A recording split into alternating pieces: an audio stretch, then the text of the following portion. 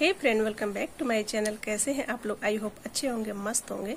तो आज मैं आ गई हूँ एक रिक्वेस्टेड वीडियो लेकर और ये रिक्वेस्ट किया है मेरी एक बहुत स्वीट सी फ्रेंड है गुरप्रीत डियर तो इनका चैनल भी है गुरप्रीत गुड लाइफ नाम से। तो फ्रेंड मैं, इनकी एक रिक्वेस्ट थी मैं मुझे लगभग दो महीने पहले ही इन्होंने किया था। मैंने एक, है ना फ्राई ढोकला का शॉर्ट वीडियो डाला था तो उसके साथ मैंने चटनी डाली थी। तो उन्होंने कहा था कि आपको चटनी की रेसिपी भी शेयर करनी थी। तो मैं आज वो चटनी की रेसिपी शेयर कर रही हूँ फ्रेंड तो चटनी तो वैसे नॉर्मल ही है, सभी जानते हैं, लेकिन फिर भी अगर किसी ने कहा है तो मैं उनकी रिक्वेस्ट पूरी करूँगी और मेरी वो बहुत अच्छी फ्रेंड है, बहुत स्वीट है वो। तो आप लोग है ना, उनकी वीडियो भी देख सकते हैं, उनका चैनल का नाम गुड विथ गुड लाइफ के नाम से उनका चैनल है और बहुत बहुत ही अच्छी लगती है मुझे वो। तो चलिए मैं आज उनकी रिक्वेस्ट पूरी करती हूँ, क्योंकि आज मैं बना रही हूँ ढोसा तो साथ में मैं वो चटनी भी बना रही हूँ तो मैंने सोचा चलो मैं उनकी रिक्वेस्ट भी कर रही हूँ और मैं यहाँ आपको मैंसन कर दूँगी, उनका कॉमेंट चटनी बनाने के लिए मैंने दो चम्मच चना दाल ले लिया है और उसे मैं रोस्ट कर लूँगी। और दो चम्मच मूंगफली भी ले लेंगे और उसे भी रोस्ट कर लेंगे। और क्वांटिटी आप अपनी मर्ज़ी से ले सकते फिर बट मैंने बराबर बराबर ही लिया है। और देखिए ये देख लिए मैंने क्या क्या डाला है चटनी में। तो मैंने इसमें ना, नारियल डाला है और मूंगफली डाला है रोस्टेड चना दाल डाला है और इमली और साथ ही नमक और लहसुन और मिर्च तो होता ही है चटनी में।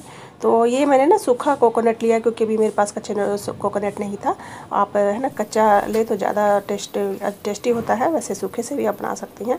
तो मैंने सबको पीस लिया है और अब मैं इसको, है ना तड़का लगाऊँगी तो तड़का तड़का लगाने के लिए मैंने पैन गैस पे रख दिया है और तेल डाल के गर्म कर लिया है। उसमें डाल दिया है मैंने सरसों और साथ ही डाल दिया है मैंने सूखी लाल मिर्च और साथ ही डाल दिया है कड़ी पत्ता, क्योंकि तड़का ये साउथ इंडियन डिश है तो इसमें तो तड़का फ्रेंड कड़ी पत्ता का होना ही चाहिए और इससे बहुत ही टेस्टी भी बनता है फ्रेंड और ये देखिए हमारा टेस्टी यम्मी जो चटनी तैयार है रेडी है हमारा। इसे आप इडली, डोसा, समोसा किसी या रोटी, चावल के साथ भी आप बहुत मतलब अच्छे से खा सकते हैं। और ये देखिए फ्रेंड मैंने डोसा बना रही हूँ और इस समय मैं सौरभ के लिए ना बना रही थी।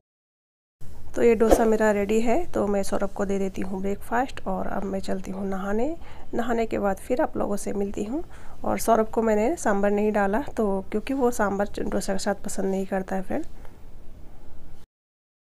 hey friend welcome back to my channel कैसे हैं आप लोग? आई होप अच्छे होंगे, मस्त होंगे। मॉर्निंग के बज रहे ग्यारह, मेरा मॉर्निंग का सारा काम हो गया है। मैंने नहा भी लिया है, पूजा भी मेरी हो गई है। और अब मैं जा रही हूँ ब्रेकफास्ट करने। तो आज ब्रेकफास्ट में मैंने डोसा बनाया है तो मैं जा रही हूँ, पहले अपने लिए बनाती हूँ, फिर खाती हूँ, फिर देखती हूँ आप लोगों से टाइम मतलब मिल पाऊँगे तो मिलूँगी, क्योंकि अभी मैं छोटी वीडियो बना रही हूँ अपलोड होने में प्रॉब्लम होती है फ्रेंड आप लोगों को पता है, मेरे यहाँ भी नेट का बहुत ज़्यादा प्रॉब्लम चल रहा है फ्रेंड मैं बहुत परेशान हूँ नेट की वजह से, और अभी भी शायद ठीक होने में हफ़्ता दस दिन लग सकते हैं। तो आप लोग फ्रेंड सपोर्ट कर रहे हो, मुझे बहुत अच्छा लग रहा है, और आप लोग सपोर्ट प्लीज़ ऐसे ही बनाइए रखिएगा मेरा जैसे ही नेट प्रॉब्लम सॉल्व होगा, मैं सबकी वीडियो पे आऊँगी। वैसे मैं कोशिश कर रही हूँ, मैं जा, जाती हूँ, बट सबकी वीडियो पे नहीं जा पाती हूँ एक ही दिन।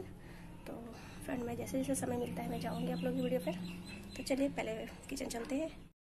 आप लोगों से एक बात कहनी थी फ्रेंड कि आप लोग अभी मुझे ना जैसा कि मेरा नेट प्रॉब्लम चल रहा है, लेकिन आप लोग फिर भी मुझे सपोर्ट कर रहे हो तो मुझे बहुत अच्छा लग रहा है। इसके लिए आप लोगों का बहुत बहुत दिल से धन्यवाद। मैं मतलब धन्यवाद शब्द भी मुझे छोटा लग रहा है, क्योंकि यूट्यूब अभी एक ऐसा चलन है, यहाँ अगर मैं अगर किसी से हेल्प मांगती हूँ तो मुझे भी उसका हेल्प करना पड़ता है।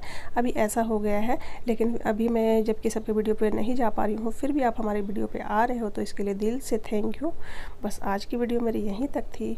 Bye have a nice day